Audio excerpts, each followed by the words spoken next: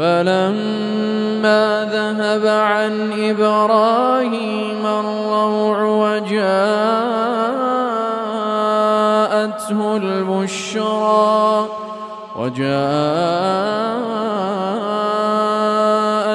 البشرى يجادلنا في قوم لوط إن إبراهيم لحليم أواه منيب. يا إبراهيم أعرض عن هذا. إنه قد جاء